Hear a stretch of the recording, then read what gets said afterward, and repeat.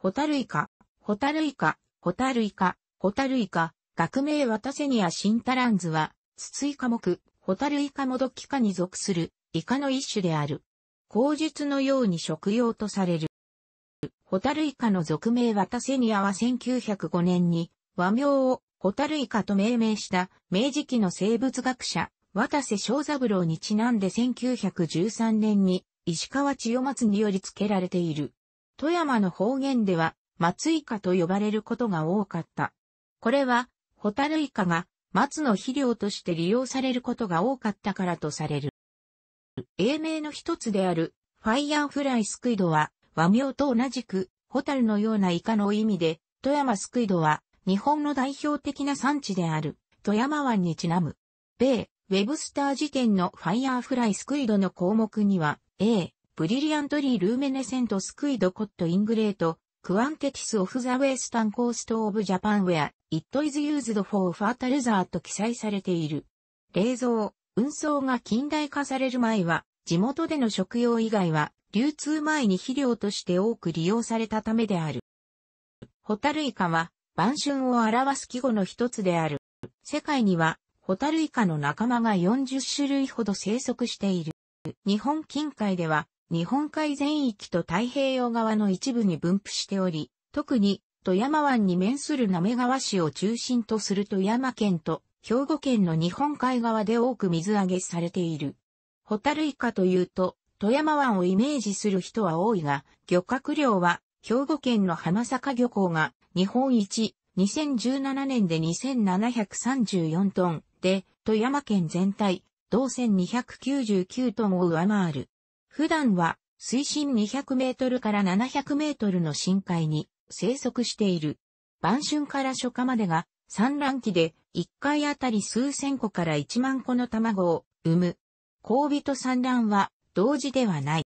触手の先にはそれぞれ3個の発光器がついている。何かに触れると発光するため敵を脅すものではないかと考えられているが、光によって敵を誘導し、直ちに消灯してその場から逃げるという、いわば、デコイとしての機能があるともされている。体表の海底側、腹側には細かい発光器があり、これは海底側にいる敵が海面側にいるホタルイカオルと海面からの光に溶け込み姿が見えなくなるカウンターシェーリング効果の役割を果たしている。海面側から海底に向かってみた場合はこの効果が働かないため、体表の海面側、背中側には発光器はほとんど存在しない。発光反応の全容は未解明である。しかし、セレンテラジンジサルファイト化合物、コレンテラジンダイサルフェイト、二硫化セレンテラジン化合物、ルシフェリンの一種によると考えられており、アデノシン三リン酸、ATP とマグネシウム、MG が大きく関与している。また、発光反応の最適温度は、摂氏5度でホタルイカの生息適温と対応しているなどが判明している。主に食用となるほか、養殖マグロの飼料用途への研究がされている。漁期は2月から5月頃、主な産地は日本海側の兵庫県、富山県、鳥取県、福井県などである。富山県では古くから食用とされ、炒め物、佃煮を含む煮物、酢味噌和え、置き付け、酢干し、天ぷら、唐揚げ、足だけを刺身にした竜宮そうめんなどがある。腐敗が早いため冷凍、冷蔵での高速輸送手段が発達するまで、産地以外での食用は困難だった。現代では、首都圏など、水揚げ漁港から遠い地域の食品スーパーマーケットや、鮮魚店で販売される、ほ、居酒屋や回転寿司店などで提供される。傷みやすいことによる食中毒や口述するような寄生虫の恐れがあるため、古くより食してきた地元でも生では食べなかった。平成になってから冷凍などの処理をしたものが生殖用として春先の店に並ぶことが多くなっている生殖の注意点については口述。食味や旬の漁獲口が多いことだけでなく、近年は栄養面でも評価されている。富山短期大学教授の竹内博之、食品機能学の分析によると、ビタミン A やビタミン B12、タウリンを多く含む。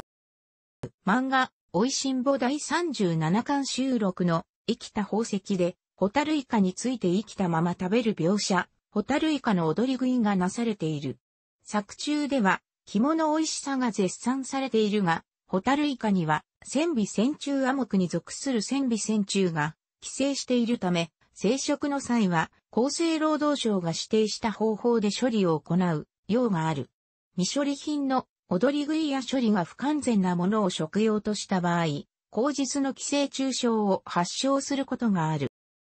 生殖により寄生虫症を発症し、急性副症として、腸閉塞、皮膚破業症、眼球移行症などを起こすことがある。国立感染症研究所によれば、最初の症例報告は1974年の秋田県での腸閉塞の疑い例とさている。その後、報告は1987年まで途絶えるが、以降1994年までに約50例が報告され注目された。診断は摘出中体の病理組織学的動定、取り出して調べる。治療法は、今のところ外科的摘出、広い目にメスを入れて引っ張り出すのを見。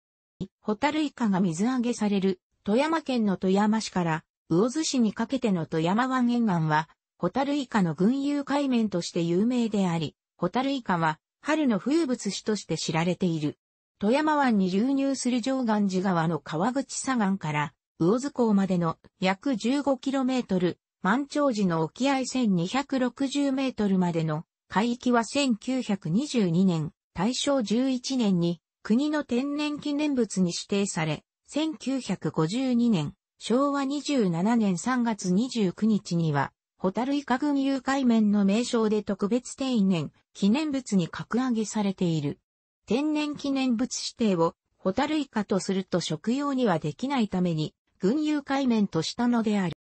前述のように、富山湾でのホタルイカ定置網漁の様子は、観光船から見学できる。